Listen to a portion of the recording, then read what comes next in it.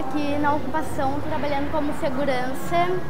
Ah, eu fico cuidando ali, uh, abrindo o portão, a gente tem. Pra quem não, não veio aqui ainda, a gente anota o nome. Pra quem já veio, a gente não se lembra, a gente checa na, pran checa na prancheta, né? E teus pais? Minha mãe tá aqui comigo. Tá aqui contigo na ocupação? Tá. Ah, ela é professora aqui? Não, ela é só a mãe mesmo. Ela é mãe e ela tá ajudando aqui na ocupação? Na cozinha. Oi, tudo? Eu sou mãe do Francisco. Ah, tu é mãe dele? Aham. Uhum. Essa é a cozinha da ocupação do IE. Vamos entrar? Vamos. Então, pessoal da, da, os estudantes, hoje chegaram as doações, que é o lanche, que são as bolachas, achocolatados, leite, pães. Ah, para o almoço e para a janta, a gente tem essas doações também que chegaram de ontem para hoje.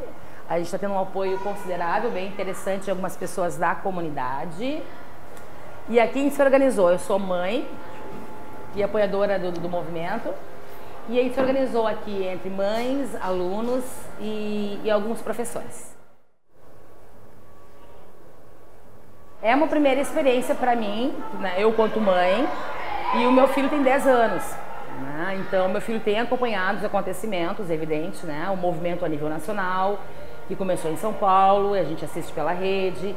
E eu, como mãe, mas anterior de ser mãe, também sou professora, eu defendo uma escola pública de qualidade, então a gente tomou a causa como nossa. O IE atualmente não, não tem grêmio estudantil, e está acontecendo de uma forma espontânea e organizada a partir das experiências que eles estão assistindo de outras escolas, trazendo pedagógico, positivo, uh, esse, essa vivência, esse aprendizado aqui dentro do IE.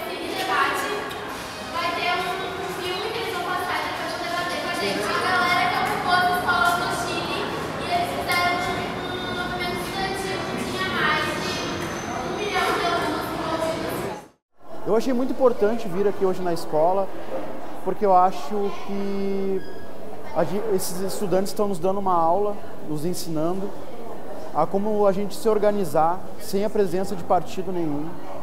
Uh, geral, uh, realmente está acontecendo aqui uma, um movimento muito forte de autogestão, de autonomia estudantil, que é importante a gente estar tá participando porque eles estão nos dando uma aula de gestão democrática do ensino público, que é aquela escola que a gente sempre sonha na utopia, né? que a gente tenha participação direta uh, nas nossas opiniões e tudo que acontece na organização da escola. Além de tudo isso, a gente consegue perceber que nos corredores, na cozinha, em todos os lugares por onde a gente passa, a gente consegue perceber que existe a troca de saberes acontecendo o tempo inteiro. Então, essa prática nova faz com que as pessoas vão se descobrindo autônomas, se descobrindo também que a participação delas no ambiente como esse pode realmente transformar e nos dar uma aula de como a gente deve exercer a nossa cidadania daqui para frente.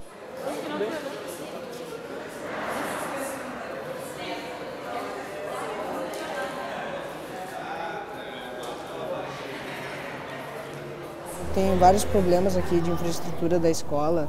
Né? O Estado ele, ele atrasa a verba do, do, da autonomia da escola. A gente não tem uh, lixeiras uh, para as cabines onde a gente onde é o banheiro. Uh, não tem papel higiênico no banheiro né?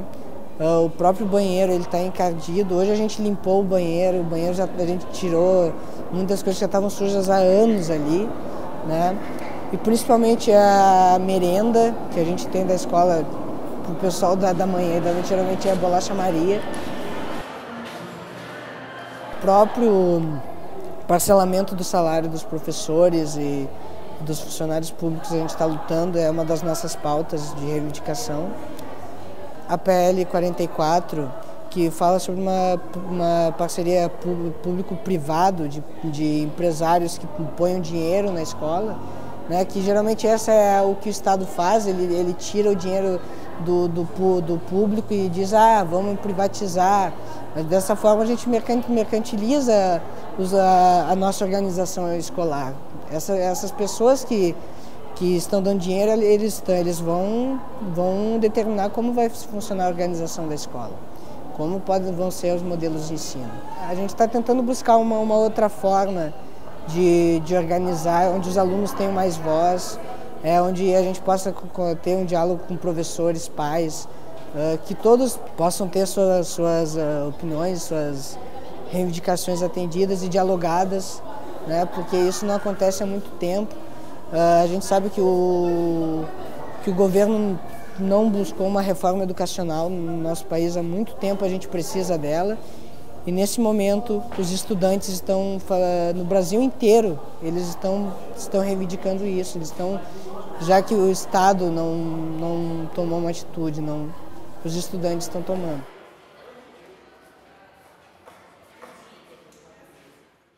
Por que não mais essa instituição, essa escola retaliadora, ou impositora, ou punidora? Né? Então, o que mais se deseja como forma de aprendizado? O que nós queremos para nossos filhos, nossos vizinhos, nossa sociedade, o que o futuro se pensa. É, agora não é mais zona de conforto, agora é de confronto. Ocupa! Ocupa tudo.